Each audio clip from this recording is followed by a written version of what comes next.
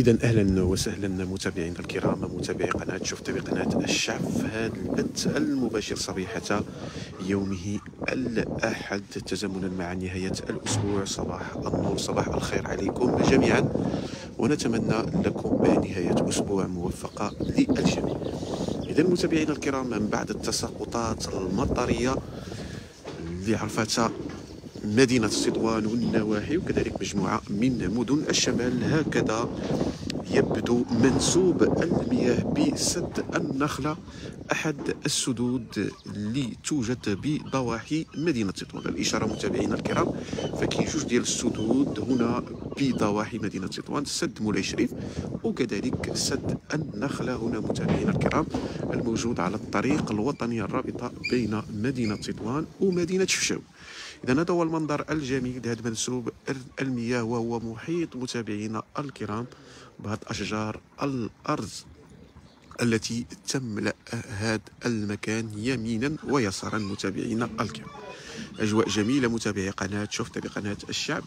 ومن المتوقع أن تتساقط أمطار الخير خصوصا بمدينة شفشاون في حدود الساعة الثانية عشرة زوالا أو الواحدة زوالا بتوقيت جرينيتش زائد ساعة. إذا هذه الأجواء الصباحية متابعينا الكرام هنا بقلب أحد السدود التابعة لإقليم تطوان وهو سد النخل. اجواء اللي هي جميلة جدا متابعينا الكرام. نتمنوا إن شاء الله أنكم تقضيوا معنا فترات اللي هي جميلة من خلال هذه الجولة الصباحية هنا في قلب هذه الطبيعة الخلابة التي تأسر الناظرين. اذا متابعينا الكرام صباح النور صباح الخير عليكم جميعا. وكيف ما قلنا نتمنوا إن شاء الله أنكم تقضيوا معنا فترات اللي هي جميلة. كيف كتشاهدوا معنا؟ هذا هو البط والإوز الذي يملأ هذا المكان. بجانب هذا المنتجع الذي نتواجد به. إذا متابعينا الكرام ما كرهناش التعليقات ديالكم والتفاعل ديالكم مع هذا المباشر مع هذه الجولة الصباحية هنا بقلب سد النخل.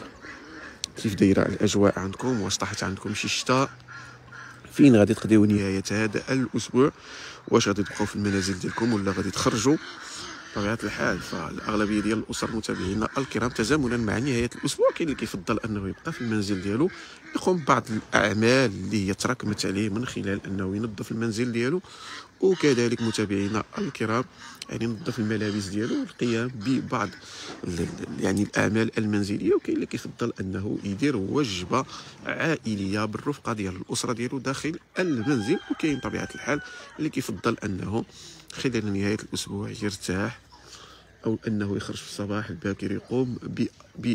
يعني بالرياضة متابعينا الكرام بالجري أو ما إلى ذلك. وكاين اللي كيفضل كيف قلنا أنه يبقى في الدار يرتاح وكذلك أنه يتناول واحد الوجبة اللي هي دسمه بالرفقة ديال العائلة ديالو. وكاين اللي كيفضل أنه يحاول يعني يراقب الدروس ديال الأطفال ديالو متابعينا الكرام متابعي قناة شوف قناه الشعب كاين اللي كيفضل أنه نهاية كل أسبوع أنه يخرج يتنزه يمشي يزور العائلة أو أنه يخرج في زيارة لأحد المطاعم أو لأحد المنتجعات السياحية. اذا هذه هي الأجواء الصباحية متابعينا الكرام كيف كتشاهدوا معنا من خلال هذا البث المباشر من خلال هذه الصور أجواء اللي هي جميلة جدا هنا بجنبات سد النخلة. والحمد لله على هذه الأمطار ديال الخير فالسد تبارك الله المياه ديالو فهي ارتفعت بشكل ملحوظ متابعينا الكرام نحمد الله ونشكره على هذه الأمطار ديال الخير متابعينا الكرام الاشاره متابعي قناة شوف قناة الشعب مدة طويلة مشنا الأمطار وهي تصل إلى بعض المدن فالحمد لله والشكر لله أن الأمطار تقريبا عمت يعني ثلثين من مساحة بلدنا الحبيب المملكة الشريفة المملكة المغربية. الإشارة متابعينا الكرام فمدينه تطوان فشهدت رياح اللي هي قوية جدا آه، يعني وصلت السرعة ديالها أكثر من 120 كيلومتر في الساعة. السرعة ديالها متابعينا الكرام مما تسبب في خسائر مادية جسيمة. متابعينا الكرام لا بالنسبة لعلامات التشوير وكذلك أعمدة الإنارة العمومية. وكذلك اللوحات الإشهارية الخاصة ببعض الشركات فهي تسقطت وكذلك خسائر في مجموعة من الأشجار سواء تابعة للمناطق الخضراء أو كذلك متابعينا الكرام. بالنسبة لبعض الغابات المحيطة بمدينة تطوان فحتى هي فيها تسقطت مجموعة من الأشجار. كما أنه يعني وقعت خسائر مادية في مجموعه من السيارات التي كانت متوقفة بالقرب من بعض الأسوار ومن بعض البنايات اللي هي آيلة للسقوط يعني من بعض يعني أجزاء منها فهي سقطت على بعض السيارات مما خلف خسائر مادية في هذه السيارات إلى جانب يعني سقوط أسوار متابعينا الكرام اللي هي تابعة لبعض المؤسسات التعليمية بالحي المدرسي. والحمد لله ما تسجل حتى شي خسائر بشرية باستثناء متابعينا الكرام. وفاة إحدى الأمهات بمدينة طنجة وهي مناسبة أننا نتقدم أحر التعازي لأسرة الأم اللي آه، غالبا غادي تكون أنها خرجت باش أنها تجيب وليدتها متابعينا الكرام من إحدى المدارس الخاصة وسقطت عليها يعني آه، أعتقد آه، يعني بلاكا ديال الزنك مما عجل بوفاتها في الحين. إن لله وإنا إليه راجعون. والله يصبر العائلة ديالها. إذا متابعينا الكرام هذه الأجواء الصباحية. كيف كتشاهدوا معنا؟ والحمد لله منسوب المياه فهو ارتفع بشكل ملحوظ هنا. بسد النخلة هنا بضواحي مدينة سطوان نحمد الله ونشكر على هذه النعمة على نعمة المطر التي لا تعد ولا تحصى.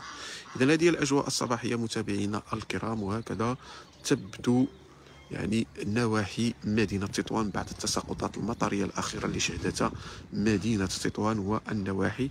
الحمد لله كاين الخضرة يعني ولكن ما زلنا ننتظر أمطار الخير أنها تساقط بشكل ملحوظ متابعينا الكرام وبغينا منسوب المياه أنه يزيد يرتفع ماشي فقط في مدينة تطوان والنواحي أو في السدود التابعة لإقليم تطوان ولكن بغينا الأمطار تملأ جميع أقاليم ومدن المملكة. إذا متابعينا الكرام نتمنى أنكم تكونوا قضيتوا معنا فترات اللي هي جميلة جدا من خلال هذا البث المباشر صبيحة يومه الأحد. ونتمنى لكم نهاية أسبوع موفقة للجميع وإلى بث آخر دمتم في رعاية الله. والسلام عليكم ورحمة الله تعالى وبركاته.